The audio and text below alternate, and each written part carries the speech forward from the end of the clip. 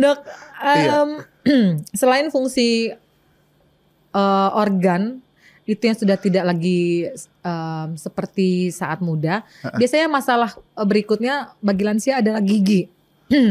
Iya iya iya. Banyak gigi yang sudah tidak lengkap, ya dok ya. Jadi agak menyulitkan eh, lansia ini untuk mengkonsumsi makanan yang mungkin sedikit keras teksturnya.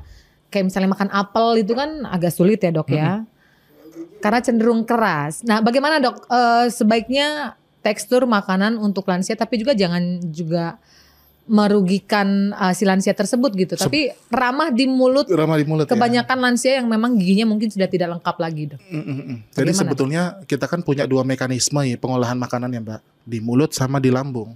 Mulut nggak sempurna, lambung juga udah pasti akan lebih lama nanti prosesnya dianya. Jadi berunt- sebetulnya bukan beruntung juga bagi para lansia ya. Jadi pasti makanan yang akan mereka konsum itu posisinya lembut semua. Jadi makanan nanti ketika di lambung itu tidak terlalu lama dianya dicerna. Jadi beberapa eh, pasien nih ternyata misalkan eh, dia punya penyakit lambung, kenapa harus dia lembut-lembut dulu dan lain-lain agar si makanan itu cepat dikonsumsi, eh cepat diserap. Jadi jadi energi semua gitu karena sudah lama dia pengolahan makanan itu seenggaknya pengunyahan itu 30 kalian dia Mbak. Sampai dia posisi si komposisi makanan itu lembut dianya. Jadi tapi yang tinggi serat ya maksudku ya. Jadi kan memang bagus untuk protein karena tinggi serat dianya. Nah, sudah dia lembut, kemudian di lambung dia juga istilahnya eh, cepat diserap, ya udah baguslah itu makanan. Sebetulnya juga konsumsi makanan juga kita ya tadi apa namanya lebih bagus yang real gitu, makanan-makanan yang real. Eh, jadi tidak tambah-tambah yang lain. Kita kan kaya rempah-rempah ya Mbak. Jadi rempah-rempah ini kitanya memang nggak ada masalah sebetulnya. Cuman tanpa pengolahan-pengolahan yang lain gitu. Tapi memang agak dibatasi gitu. Karena kalau misalkan kita ternyata oh hari ini mau rebahan nih kita, ya udah otomatis kita juga makanan juga harus agak kita press. Oh, begitu Gitu. ya kuncinya ya. Iya. Kurang lebih Kaum begitu. rebahan ya. Kaum rebahan. Perhatikan porsinya kalau gitu Iya. ya. Nah iya kadang kan gini kawanku ya Mbak ya. Jadi Kawannya Eh, namanya ah, siapa? itulah ya pokoknya. itu ya. Jadi satu kepal nasi itu ya mereka anggap ya satu tangan begini. Lalu mereka ukur di perutnya gitu Mbak. Wah masih ada sisa satu lagi gitu ya. Masih ada lima lagi. gitu. Masih ada lima lagi kepalanya belum penuh. Nah jadi ya posisi lambung ya cuman ukurannya segitu sebetulnya gitu. Apalagi ditambah makanan-makanan yang lain dimasukkan udah otomatis ya walaupun mereka akan nanti eh, apa namanya ya eh, nggak mungkin misalkan apa eh, ngaret ya maksudnya ya. Jadi akan melebar cuman makin lama ya karet itu semakin ditarik itu akan semakin nanti doer lah istilahnya Mbak ya. Begitupun dengan organ-organ kita. Semakin banyak yang masuk kita makan sedikit selanjutnya nanti akan cepat lapar lagi. Itulah kebanyakan dengan orang-orang yang gemuk sepertiku gitu istilahnya begitu. Makan satu nggak cukup karena dulu itu istilahnya udah kita hantam dengan porsi yang banyak gitu. Jadi Sudah terbiasa lapar, dengan lapar, porsi yang lapar. lebih banyak. Iya betul, sudah terbiasa dengan porsi yang banyak. Akhirnya makan sedikit aja, makanya nyiksa ya kalau untuk diet sebetulnya mbak ya. Cuman ya mau gimana? Makanya kayak si siapa itu ya yang penyak, eh, yang apa yang obesitas ya, Eh, Arya ya Arya kalau nggak salah namanya. Oh iya. Dia tuh operasi lambung dianya. Jadi pengkecilan lambung dianya. Jadi dia ada rasa lapar tapi ketika dia makan dianya kenyang At- ataupun muntah nanti dianya kalau makan berlebih. Karena lambungnya sudah dikecilkan nama dia. Gitu. Selain daripada lemak-lemak dikeluarin. ya. Ekstrim banget ya kayak gitu ya. Aduh. Iya. Jadi ya eh bahagialah untuk badan-badan yang ini ya, yang, Yang bagus gitu. gemuk. Yang sulit gemuk. Nah, itu Mbak genetik itu sebetulnya juga. Iya, katanya juga ada kayak saya tuh dok ya, minum air putih aja jadi lemak dok, menggemuk Oh, gitu. dok. Temen Ya, saya ada makan kenceng dok ya, segini-segini aja badannya gitu Iya, ya dok ya, ya, bisa itu- bisa gitu. Jangan kan itu Mbak. Jadi selain daripada makanan ya kayak cuman segitu-gitu aja berat badannya, rokok nih istilahnya. Rokok ada- lagi guys. Semua Nah. dokter yang ke sini ngomongin rokok. Gimana Iya. dok soal rokok dok? Nah, ada penelitian ya Mbak ya, pokoknya meng- me- apa namanya mengkisahkan bahwa ada beberapa dari kita itu yang kebal akan rokok sebetulnya. Wah, Jadi ada yang misalnya oh gua rokok ternyata ronsen ternyata paru-paru nggak ada masalah. apa iya? Enggak, ah, belum tentu istilahnya ya kan. Iya, kalau misalkan kebal rokok, kalau misalkan itu juga hitungannya cuma berapa juta orang untuk eh, posisi seperti itu ya Mbak. Karena rokok itu adalah eh, zat yang tidak bisa dicerna. Jadi apa ya, bahan benda asing dianya. Jadi paru-paru itu punya filter, cuman Iya. dia nggak bisa memfilter si asap rokok itu, polusi dan lain-lain. Akhirnya gimana caranya? Ya udah terbendung di situ terus, nggak bakal akan ke apa namanya, kesaring oleh paru-paru. Jadinya bahaya. Jadi tapi penyakit di Indonesia ini bukan karena apa kebanyakan eh, rokok ya, tapi ada penyakit-penyakit yang lain tah. Eh, metabolisme, jantung dan lain-lain. Tapi sumbernya apa? Sumbernya rokok. Itu. Emang rokok ini masalah riwayatnya besar. pasti rokok, riwayatnya pasti perokok gitu. Asli bener dok. Riwayatnya pasti itu.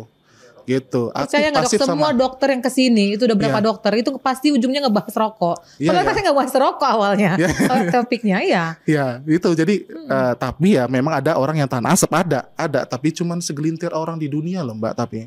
Ya, tahan Gitu. asap mungkin ini lagi orang rokok. Iya. Tahan napas gitu kan. Habis, ah, Zaman dulu ya sehat dia ya gunung ya maksudnya Iya. naik gunung dan lain-lain. Jadi udara juga kadarnya beda. Jadi kapasitas si oksigennya juga besar dianya. Jadi istilahnya dia nggak terlalu gampang sesak. Kalau kita ya kapasitas oksigen kita kecil. ya. Jadi akhirnya gampang sesak, gampang batuk dan lain-lain gitu. Jadi berbicara juga dengan makanan yang di istilahnya kita konsumsi tapi dianya nggak gemuk-gemuk gitu. Oh, Oke, jadi jangan bangga kalau kamu makan nggak Mm-mm. gemuk, da- tapi kamu perokok gitu ya. Ya itu masalahnya. Iya. Ujung-ujung pasti nanti ada penyakit lain yang akan datang Ah, gitu. ah, berbau-bau dengan paru-paru, dengan tenggorokan ya. Mungkin nggak cuman kencing manis, jantung bisa jadi muncul. Iya, bahaya nggak tuh ya? Pakai ring, ring nggak tuh? Terakhir dok, boleh nggak sih lansia itu berpuasa? Oh, boleh, boleh banget. Boleh. Boleh banget, Mbak. Berapa jam? Kita itu aja tidur aja termasuk puasa itu, Mbak. 6 Oh, sampai iya. 8 jam tidur itu kita termasuk kuat kan badan kita ya kan. Jadi ya karena satu sel-sel itu mengganti sel yang baru. Begitu juga puasa, sistemnya sama begitu. Jadi perbedaan adalah jam makan. Jam makan setelahnya subuh nih kadangan. Nah, itu yang sebetulnya yang agak keliru sebetulnya setelah kalau eh, selepas eh, buka puasa kita kan pasti ada kegiatan lain, sholat, ngaji dan lain-lain. Itu ada kegiatan dia, Mbak. Subuh ini sholat udah selesai, mereka kan tidur gitu. Ya, Kecuali ada aktivitas di pagi harinya. Nah, tapi kalau nggak ada aktivitas yang pagi harinya udah selesai dianya. Gitu. Jadi itu penyebab dianya kenapa. Jadi bukan karena eh, lansia dia harus nggak puasa, kecuali memang dia nggak bi- bakal bisa puasa karena kondisi penyakit kronis. oke. Itu udah pasti itu. Karena dia butuh energi di saat itu. Tapi kalau misalkan puasa ya itu normal sebetulnya. Itu udah pasti untuk memperbaiki sel-sel tubuh kita. Misalkan yang eh, Islam ya agama Islam satu tahun itu sebulan. Gitu sebulan penuh harus diwajibkan puasa. Nah itu posisi memang eh, setahun kita du- 11 bulan kita mengkonsumsi makanan-makanan yang entah mungkin kita bagus atau enggak. Ini cara-cara apa ya? Cara kita mengaplikasikannya. Nah, ada waktu satu bulan di mana kita itu bisa mengkoordinasi semuanya. Itu di waktu puasa itu. Jadi bisa atau enggak bisa. Bisa Gitu. ya, masih Bisa aman. banget, aman, aman banget. Baiklah kalau gitu. Jadi selama kita tidur, kita, tidur sebenarnya juga itu adalah waktu kita berpuasa ya. Iya, 6 sampai 8 Teman jam. saya tidur-tidur tuh jam 12 malam bangun masak mie instan. Nah. Dia tuh gak puasa juga nih sebenarnya. Cuma saya tuh agak pengecualian namanya Mang Zai. Oke baiklah kalau gitu. Iya. Jadi memang akhirnya eh, kita sampai pada kesimpulan bahwa garam tadi dokter katakan itu memang harus dikontrol. Kontrol banget. Juga tekstur makanan harus disesuaikan. Sesuaikan, iya. Aktivitas fisik juga harus disertai setelah eh, usai sarapan sebaiknya. Iya, oke. Untuk Nah, mengantisipasi komorbid yang bertambah ya dok ya. Iya. Baik dok, kita sampai pada ujung akhir acara. Oh, iya, siap. Kita boleh minta closing statement dari dokter tentang pemenuhan gizi lansia dok? Jadi kalau untuk closing statement kita eh, ada satu quotes yang aku ingat sekali sebetulnya. Apa makanan yang kita kons eh, mulut kita nih bisa jadi kesehatanmu, bisa jadi penyakitmu. Jadi apa yang kita konsumsi di mulut itu adalah interpretasi kesehatan kita nantinya di usia tua. Jadi kalau bisa mulut itu harus diberikan makanan-makanan yang sehat. Jadi kondisi tubuh sehat.